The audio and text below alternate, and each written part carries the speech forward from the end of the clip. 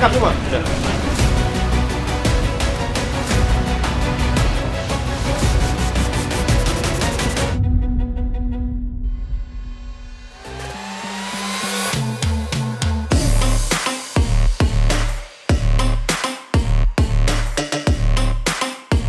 Sebanyak 70 items perlengkapan perorangan lapangan didistribusikan kepada 119 prajurit dalam Satuan Tugas Maritime Task Force yang akan melaksanakan tugas mengamankan perairan di Lebanon dalam misi perdamaian PBB.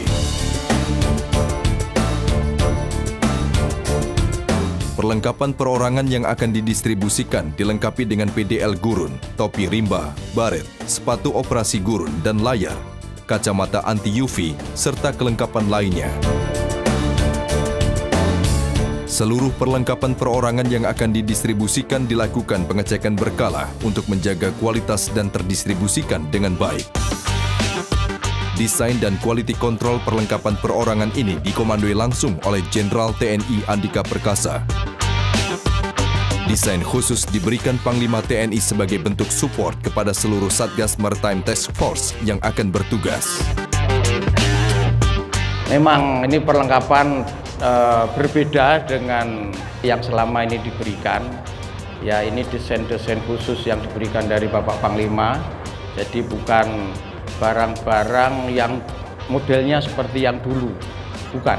Ini desain-desain khusus yang di apa dikomandoi, diikuti langsung oleh Bapak Panglima.